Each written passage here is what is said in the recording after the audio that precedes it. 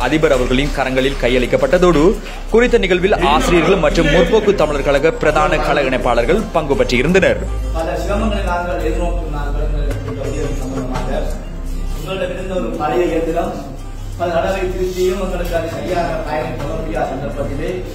உணர்ந்து எமது பாடசாலைக்கு இந்த இயந்திரத்தை வழங்க வேண்டும் என எதிர்பார்த்து இன்றைய நாளிலே இந்த இயந்திரத்தை வழங்குவதற்காக வந்ததற்கு நாங்கள் முதலாவதாக அந்த வேலைகளுக்கு மத்தியிலே இருந்து உங்கள் நேரத்தை ஒதுக்கி உங்கள் பாசறைக்கு தலைவர்களுக்கு நாங்கள் மீண்டும் தலைவர்களை வரவேற்று சில தேவைகள் எங்களுக்கு இருக்கின்றன.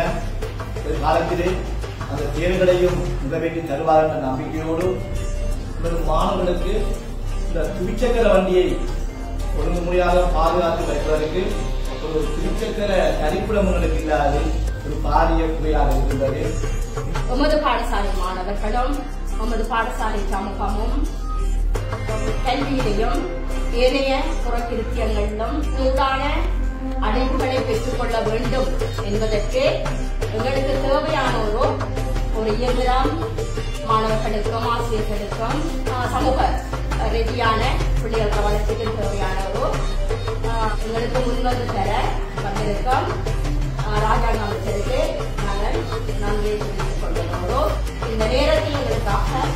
ஒதுக்கியது வந்து உங்களுடைய பாடசாலை ஆஹ், இங்கே வருகை இருந்திருக்கும் ஆம், அமைச்சரை வருக வருகை என வரவேற்று பழைய மாணவர்களையும் ஆசிரியர்களையும் ஏரிய உறுப்பினர்களையும் வருக வருக என்று இந்துகம் காட்டி வரவேற்று உலக வித்தியாலயம் மட்டக்களப்பு நகரிலே இருக்கின்ற ஒரு பாடசாலை அதிபர் அவர்கள் கூறியது போல இந்த மட்டக்களப்பு மாவட்டத்தில் இருக்கின்ற ஒரு பாலியல் குறைபாடு குறிப்பிட்ட பாடசாலைகளை மட்டும் மையப்படுத்தி மாணவர்கள் போய் அதிக அளவு செல்வது.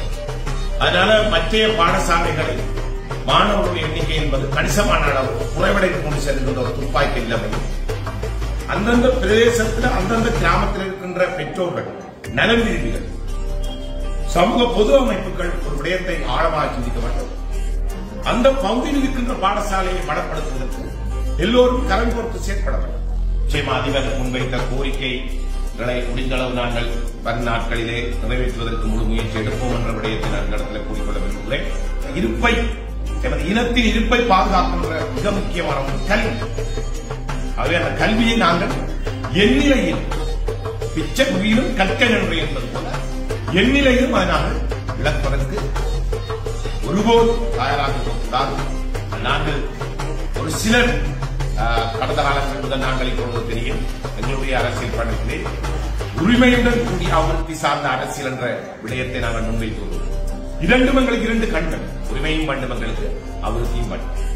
ஆகவே எம்மை பொறுத்தளவிற்கு எங்களுடைய நில உரிமை பாதுகாக்கப்பட ஒரு இனத்தில் இருக்கும் இல்லத்தை நம்பியிருக்கிறோம் ஆகவே இந்த நிலவள அபகரிப்புக்கு எதிராக இப்பொழுது நாங்கள் கடந்த ஆண்டுகளில் பல விடயங்களை தடுத்து இவ்வாறு அபிவிருத்தி என்ற போர்வையில் எங்களுடைய மனித வளத்தை ஒட்டுமொத்தத்தில் எங்களுடைய பகுதிய வளத்தை எங்களுடைய இருப்பை கேள்விக்குள்ளாக்குகின்ற எந்த செயற்திட்டத்தையும் நாங்கள் இந்த மாவட்டத்தில் அனுமதிக்க மாட்டோம்.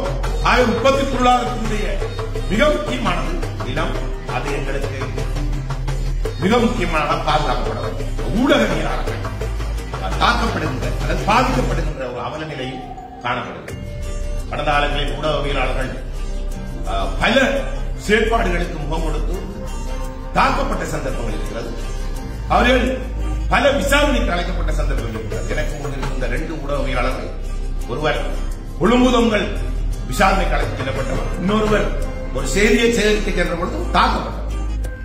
பல அர்ப்பணிப்புகளை செய்த ஊடகவியலாளர்கள் இருக்கின்றார்கள் ஆனால் ஒரு சில அநாகரிகமான நாகரிகமற்ற முறையில் ஊடகவியலாளர்களுடைய அஹ், சுதந்திரத்தை மீறுகின்ற வகையிலே சமூக வலைத்தளங்களில் அது ஒரு சில உத்தியோகத்தலும் அடங்குவார்கள் மிக மோசமான முறையிலே விமர்சிக்கின்ற காலத்தனமான செயற்பாடை நாங்கள் ஒருபோதும் அனுமதிக்க மாட்டோம். இந்த பாடசாலை மாணவர்களுக்கான பரீட்சைத்தான் போட்டோ பிரதி செய்வதாக இருந்தாலும் சரி அல்லது வேறு ஏதாவது பாடசாலையின் அத்தியாவசியமான வேலை திட்டங்களை மேற்கொள்வா இருந்தாலும் இந்த இயந்திரத்தினுடைய தேவைப்பாடு அதிகமாக இருந்தது. அதை பெற்றுக் கொடுக்க வேண்டும் என்று எம்மிடம் அதிபருக்கு ஊடாக கோரிக்கைகளை வலியுறுத்தி வந்த எமது மட்ட இணைப்பாளர் தம்பி தனு அவர்களே தம்பி செஞ்சு அவர்களே மற்றும் போட்டோ பிரதி இயந்திரம் தொடர்பான கோரிக்கையினை அதிபர் மூலமாக எமக்கு தெரியப்படுத்திய எமது கழகத்தினுடைய உடன்பிறப்புகளுக்கு நன்றி கூறுவதோடு ராஜாங்க அமைச்சர் சதாசிவம் வியாழேந்திரன் அவர்கள் கல்லடி முகத்துவாரம் விபுலானந்தா பாடசாலையில் காணப்படுகின்ற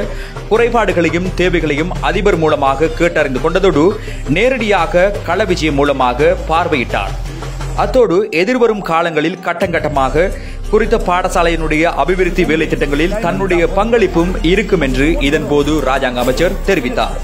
பேச்சுக்கு அப்பால் செயற்பாட்டு களத்தில் செயல் வீரனாக செயற்பட்டு வருகின்ற முற்போக்கு தமிழர் ராஜாங்க அமைச்சர் சதாசிவன் வியாழேந்திரன் அவர்களுடைய பயணம்